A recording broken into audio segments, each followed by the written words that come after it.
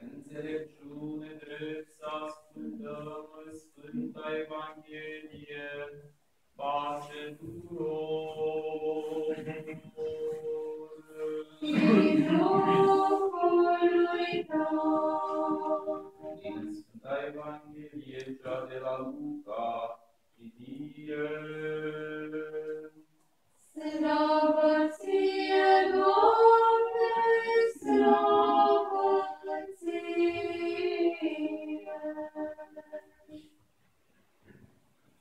Să luăm aminte, zisa Domnul pilda aceasta. Un om oarecare a făcut cină mare și a poftit pe mulți. Și a trimis el la ceasul cinei pe slujitorul său să zică celor poftiți, veniți căci totul este acum gata. Dar toți au început să-și ceară iertare ca și cum ar fi fost înțeleși.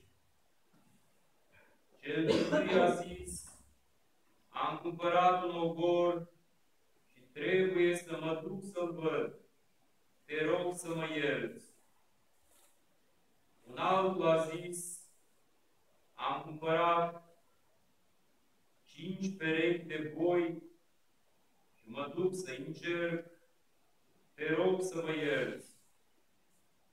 Al treilea a zis, mi-am luat femeie și pentru aceasta nu pot veni.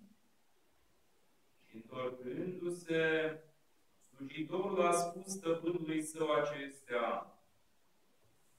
Atunci, mâniindu-se, stăpânul casei a zis slujitorului său, Ești de grabă în piețele și ulițele orașului, și săracii, și bedegii, și orbii, și șchiopii adui aici. Și întorcându-se, slujitorul a zis, Stăpâne, s-a făcut cum ai poruncit și tot mai este loc. Atunci stăpânul a zis către slujitor, Ești la drumuri și la garduri, silește pe toți să intre ca să se umple casa mea. Căci vă spun, niciunul dintre oamenii aceia care au fost poftiți nu va gusta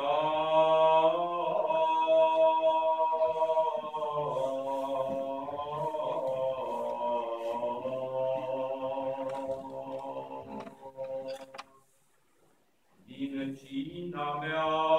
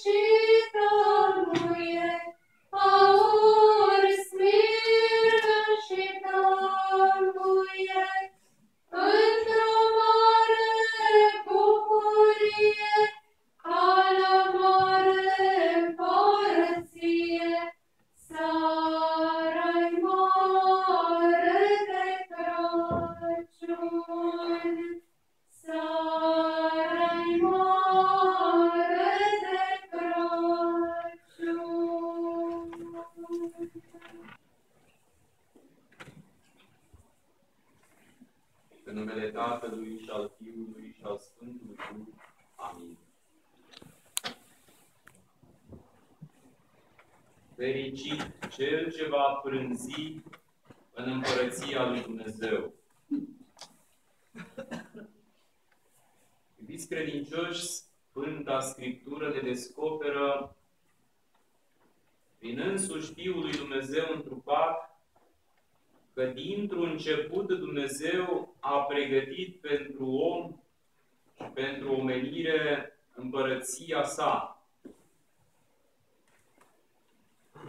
La sfârșitul veacurilor, la judecata universală, Fiul omului, adică Mântuitorul Iisus Hristos, va spune celor de-a dreapta sa, veniți binecuvântații Părintelui meu și moșteniți împărăția cerurilor, cea pregătită de voi încă înainte de întemeierea lumii. Și dar Dumnezeu, înainte să-L creeze pe om, a pregătit pentru om creația sa cea mai înaltă, sinteza întregii sale creații, împărăția, împărăția cerurilor sau împărăția lui Dumnezeu.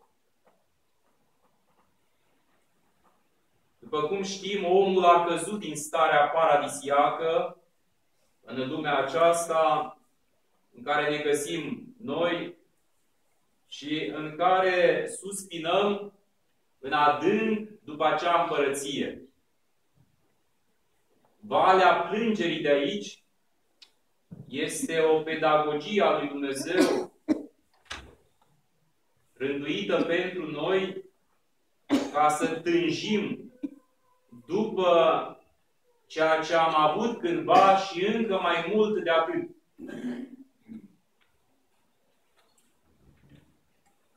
Noi cei care am simțit că Dumnezeu ne cheamă spre ceva spre care orice om ar dori finalmente să se îndrepte, și anume fericirea în împărăția cerurilor, care se pregustă încă din lumea aceasta, ne-am pregătit cum am putut fiecare până acum pentru sărbătoarea nașterii Domnului, în fapt pentru prăznuirea primirii lui Dumnezeu ca răspuns a, a iubirii Lui față de noi în inima noastră. Ne apropiem de Crăciun, mai sunt de acum puține zile. Biserica intensifică chemarea spre pregătire și iată că a rânduit două duminici înainte de sărbătoarea nașterii Domnului, două duminii speciale, Duminica de astăzi, care se numește Duminica Sfinților Strămoși, și Duminica dinaintea nașterii Domnului, care anul acesta coincide cu ajunul nașterii Domnului, și anume Duminica Sfinților Părinți după trup ai Domnului.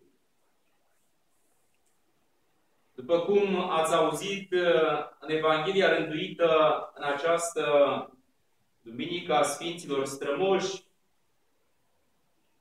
s-a citit din Evanghelia după Luca o parabolă rostită de Mântuitorul Hristos, care are și un nume, parabola celor poftiți la cină, la cina cea mare. prilejuită a fost această parabolă de un context care ar trebui să-l cunoașteți. Mântuitorul a fost invitat la un moment dat în casa unuia dintre farisei, unuia care conducea o grupare de farisei. Acesta l-a invitat la masă și Mântuitorul intrând în casa fariseului și stând la masă, a luat aminte la cum stăteau oamenii la masă și ce fel de oameni erau invitați la acea masă. Și a făcut o observație mai mare lui fariseilor în auzul tuturor. I-a spus când chem pe cineva la masă, faci o masă mare și chem pe cineva la masă, să nu-i chem pe prietenii tăi, nici pe rudele tale. Cheamă pe cei săraci, pe cei neputincioși, pe cei bolnavi.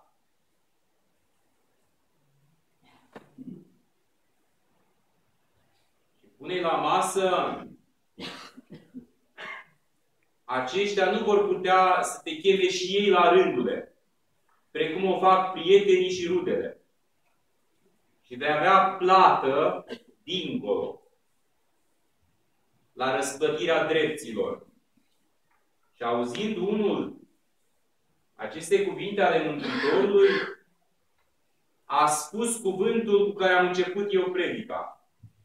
Fericit este cel care va prânzi în împărăția cerurilor. Aș dori să rețineți cuvântul prânzi și nu cina. Era un prânz la care a fost invitat Mântuitorul. Parabola se numește a celor chemați la cină, adică la masa de seară.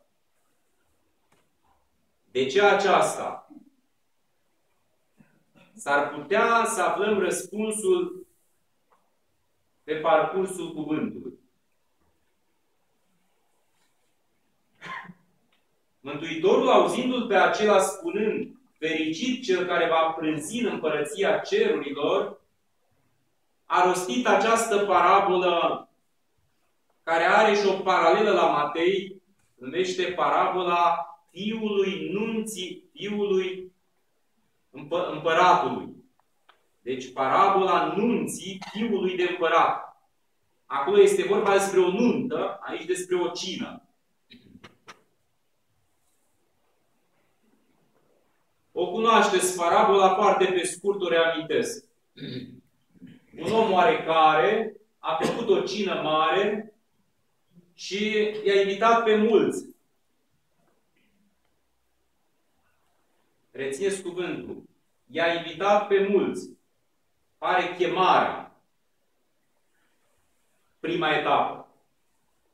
La vremea cinei l-a trimis pe slujitorul său să-i cheme pe cei invitați. Vedeți, sunt trei etape aici. Apare etapa a doua celor care de acum li se face un anunț precis.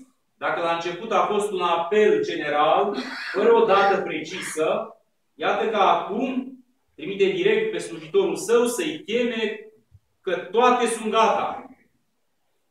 Adică Dumnezeu s-a pregătit, a făcut cina și de acum toate sunt gata să vină invitații. Unul dintre invitați, care reprezintă o categorie umană, desigur, a adus o scuză și a cerut iertare că nu poate să vină. A spus, mi-am cumpărat pământ, o țarină, și mă duc să o văd. De aceea nu pot să vin. Te rog, iartă-mă. Un altul, care și acesta reprezintă o categorie de oameni, a spus, uh, mi-am cumpărat cinci perechi de boi și mă duc să încerc, nu pot să vin, iartă-mă. Al treilea, care și acesta reprezintă o categorie umană, a spus, m-am însurat, mi-am luat femeie și de aceea nu pot să vin. Te rog, iartă-mă. Spune în parabolă că parcă aceștia trei ar fi fost vorbiți între ei să aducă scuze, să-și ceară iertare și în final să nu vină la cină. S-a dus slujitorul, a raportat stăpânului cele petrecute și stăpânul casei s-a mâniat, spune în parabolă, pe aceștia, dar nu a renunțat la planul său de a organiza cina și a chema pe mulți la cină. Nu a renunțat la plan, a modificat planul și l-a extins.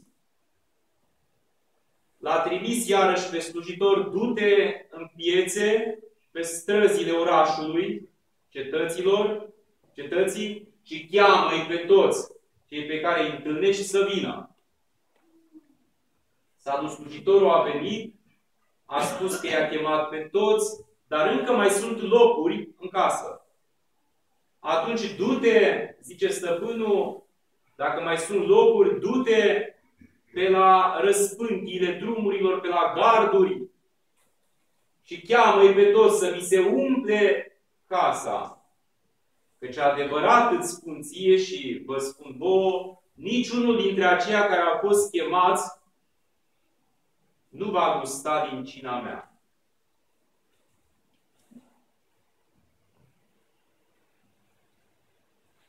Această concluzie este un paradox. Cred că l-ați sesizat. Pare ciudat. Evident că dacă n-au venit, nu vor gusta din cină. Și totuși, nu e așa de ușor de tâmpuit.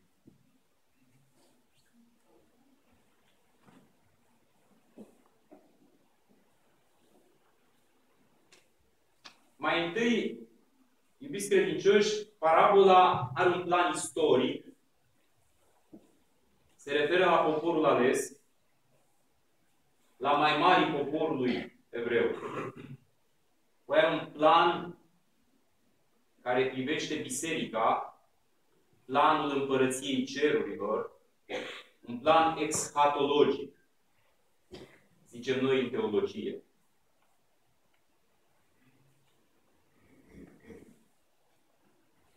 Deci ați reținut, Dumnezeu se pregătește organizează cina și cheamă mai întâi pe mai mari poporul evreu. Aceștia parcă sunt vorbiți între ei și aduc diverse scuze care de fapt acoperă minciuna și ipocrizia lor. Păi să vedem de ce e așa. Păi, spre exemplu, cel care și-a cumpărat pământ și-a cumpărat țarii, pe el seara să duce să vadă cum arată pământul. Aproape că nici nu vezi seara prea bine cum arată, ce calitate are, știu eu, țarina pe care el a cumpărat-o deja. Deci aici se contrazice pe el pentru că dacă te duci să o vezi, o vezi dimineața sau la miaza zilei, pe de altă parte, tu o vizitezi după ce o cumperi. Nu e bine să cercetezi înainte ca ce fel de pământ este și apoi să evaluezi pământul și să-l cumperi înțelept. Cel care și-a cumpărat cinci perechi de boi spune că nu poate să vină pentru că se duce să încerce. Păi tu încerci boii dacă sunt cu adevărat uh, sănătoși și puternici și de jug după ce îi cumperi. Celălalt spune că și-a luat nevastă și de aceea nu poate să vină. Și acesta este un ipocrit sau un fățarnic pentru că cel împiedica să o ia și pe nevastă la cină. Spre exemplu, pe de altă parte, o nuntă, după tradiție, se pregătește îndelung. Nu ca astăzi, care când uh, pregătirea pentru nuntă este superficială, nu se consultă părinții, nu se consultă nașii, nu se consultă duhovnicul, nu se cercetează neamul din care ți fata, sau invers. Mă rog, părinții fetei din ce neam vine băiatul, ca să fie acolo cu înțelepciune unirea aceea, că de regulă tinerii sunt la vârsta căsătoriei, mai ales unii foarte imaturi, au nevoie de suportul înțelept al părinților, al celor care au deja familii, care au trecut prin viață și au învățat ceva din viața de familie. Deci cele trei categorii de oameni reprezentate de cei trei invitați la cină sunt aceia care pretextează că nu pot să vină la Dumnezeu pentru că sunt prea ocupați, prea lipiți cu cele din lumea aceasta. De altfel, apostolul care s-a citit astăzi, epistola către Coloseni a Sfântului Apostol Pavel, ați auzit că lăcomia patima celui din tâi chemat, lăcomia după pământ, după avere, după bani, proprietăți, dezvoltarea aceasta pe orizontală este un idol. Cine se gândește foarte des și obsesiv la bani, vede numărând banii, se vede numărând banii, calculează și în somn. Și când se trezește, tot la bani se gândește, este un om care de acum slujește unui idol. Banul rotund îl tot învârte după el, precum se întâmplă cu oaia căpiată, care se învârte, amețește și cade, final moare. Cel care și-a cumpărat cinci perechi de boi, se merge să-i încerce, este cel care slujește unui alt idol, și anume simțualității. Cele cinci perechi de boi reprezintă cele cinci simțuri care, vedeți, au niște organe în noi, două câte două. Avem doi ochi pentru văz, două urechi pentru auzi și așa mai departe. Cinci sunt toate și sunt perechi, simțurile. Omul care gustă plăcerea prin simțuri și se îngroașă la suflet. Duhul lui nu se mai vede, nu se mai simte. El nu-l mai simte și nici alții nu-l prea simt. Nu-l mai simt. Cel care și-a luat femeie și din cauza aceasta nu poate să vină să răspundă chemării lui Dumnezeu este cel care vede în familie ceva mai important decât vede în biserică. Pentru el familia este un idol. Există oameni care spun că sunt credincioși, care afirmă convingător pentru ei și pentru alții că, spre exemplu, mama lui sau tatăl lui sunt Dumnezeu. Sunt viața lui. Sau copilul meu e viața mea.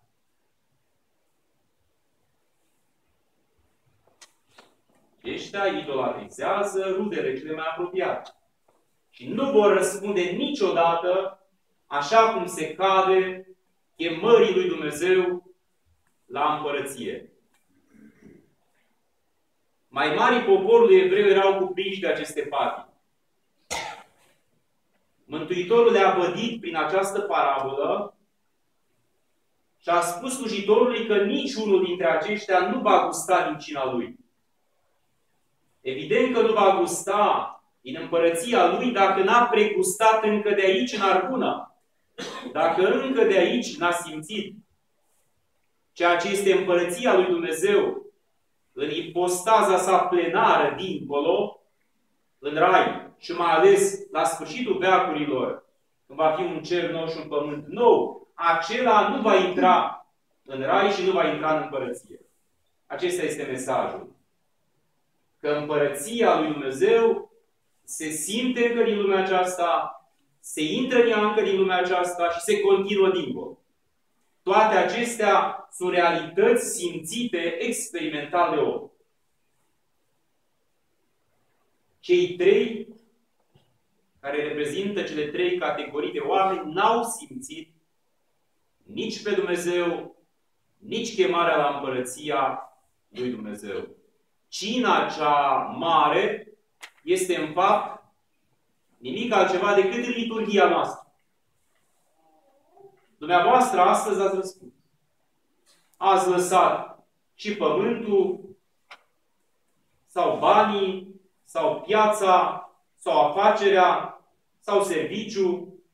Ați lăsat și simțurile care poate, oameni fiind ne tentează și pe noi să mâncăm de dimineață, să bem o cafea măcar și să venim la biserică fără să mai luăm anafură și aghiază.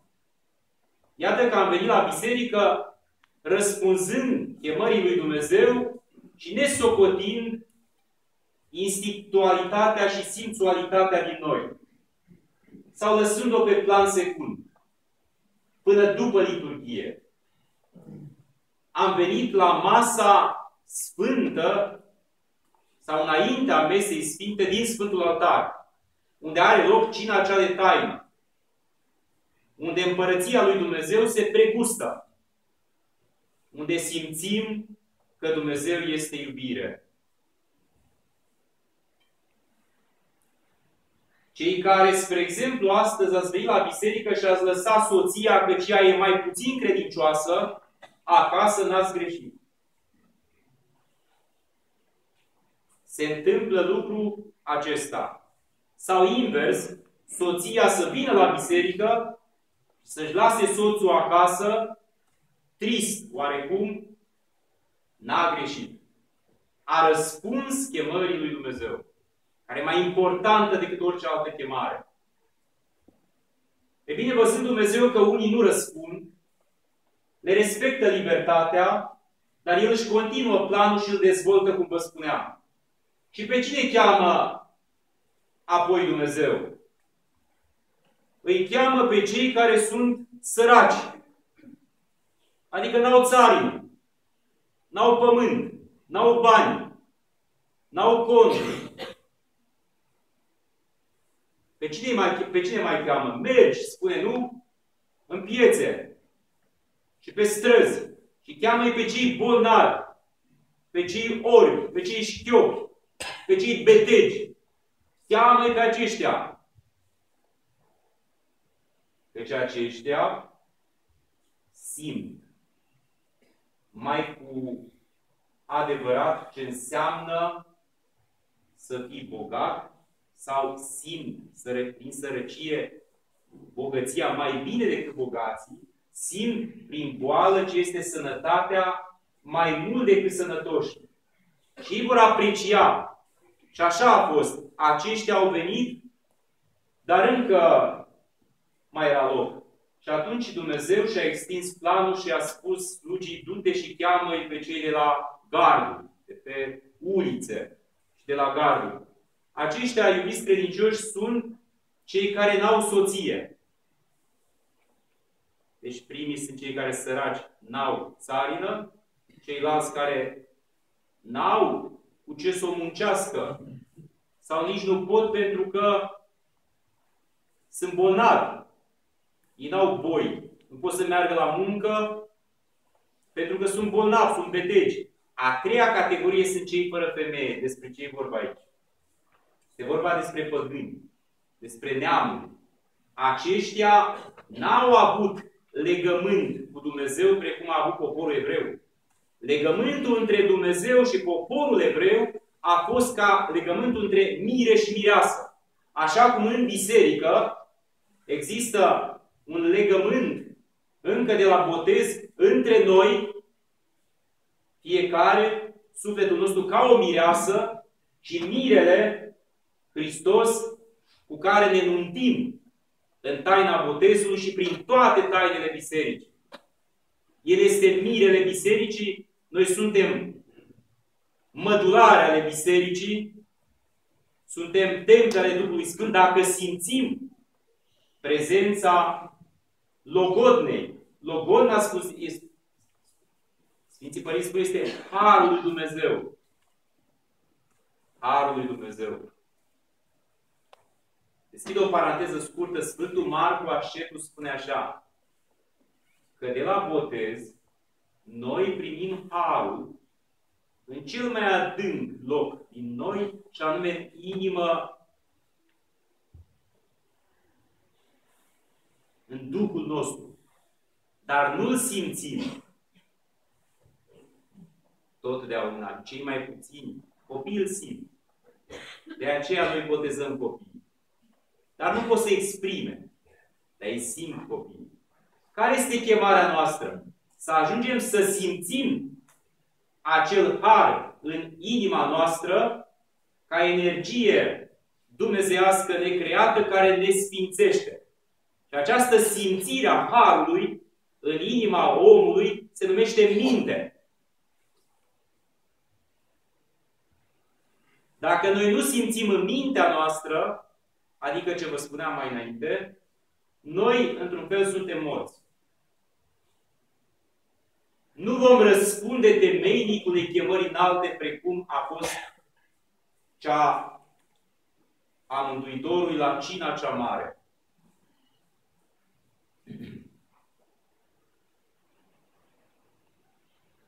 Prin urmare, iubiți credincioși, Dumnezeu îi cheamă pe toți, sunt poftiți la cină toți oamenii, începând cu poporul ales. Iată că noi, care am fost păgâni, că doar Burebista nu fi fost creștini, sau Decebal, sau stră românii, am fost păgâni. E adevărat că eram, se pare, monoteiști prin, prin stră, stră moșii noștri. Eram monoteiști. Singurul popor, se pare, care a fost monoteist au fost getodaci. Dar totuși păgâni am fost și am fost chemați și noi. Evreii au respins, mulți dintre evrei au respins chemarea, pretextând în fel și chip de-a lungul uh, istoriei noi am răspuns, am intrat în biserică, am intrat în împărăție, adică suntem încă din lumea aceasta părtași împărăției, dar dacă nu simțim apartenența ca cetățeni a acestei împărății,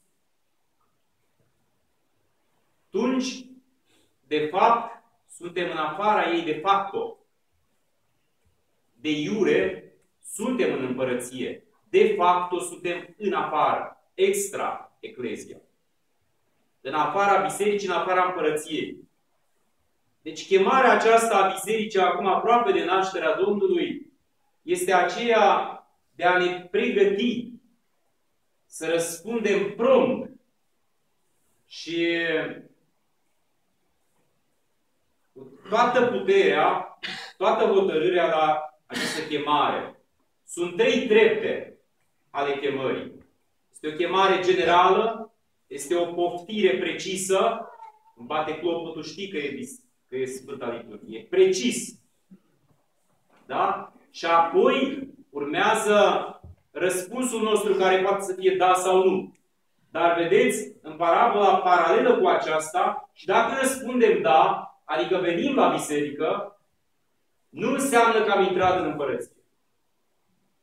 Pentru că ni se spune în parabola paralelă, cea de la Matei, că a venit unul în casa celui care a organizat cina, care n-avea haină de nuntă. Și a spus, prietene, cum ai îndrăznit să intri aici? Fără haină de nuntă. Acela parcă și-a înghițit limba. N-a zis nimic, porunca a fost extrem de dură, luați-l, legați-l de mâini și de picioare și aruncați-l în întunericul cel mai din afară, acolo va fi plângerea și scrâșnirea dinților. Adică sunt cei chemați, sunt cei poftiți și apoi cei aleși. Toți sunt chemați, aleși sunt cei care au răspuns chemării cu pregătire. Vedeți dumneavoastră, poporul ales a fost ales de Dumnezeu, dar parte din popor s-a pregătit, a așteptat într-o pregătire ce? Plinirea, venirea Mântuitorului.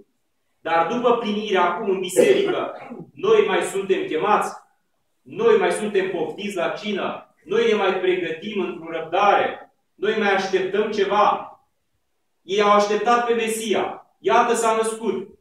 Noi, creștinii, mai așteptăm ceva. El a venit. E cu noi. Noi spunem în Sfântul Altar, Hristos în mijlocul nostru. Este și va fi.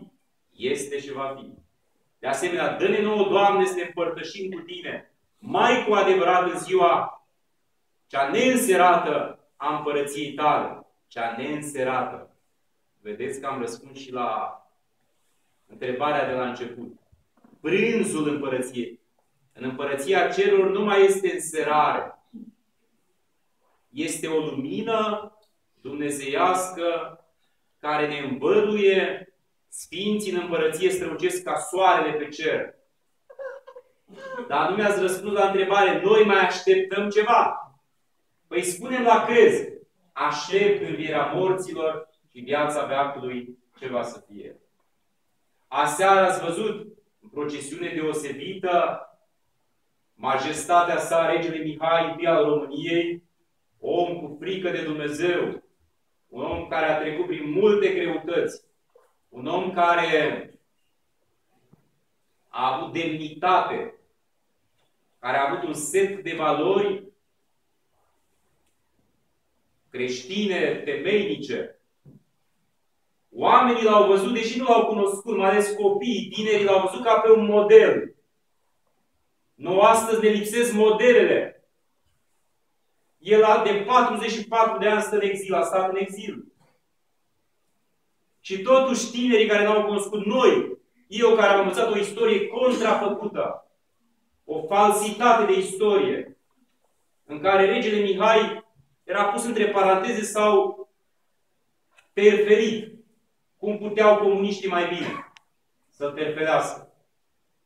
Spus că a plecat cu bogăție, cu tren de aur, cu toate de aur, în exil. El, sărmanul, a plecat, cum ați auzit zilele acestea,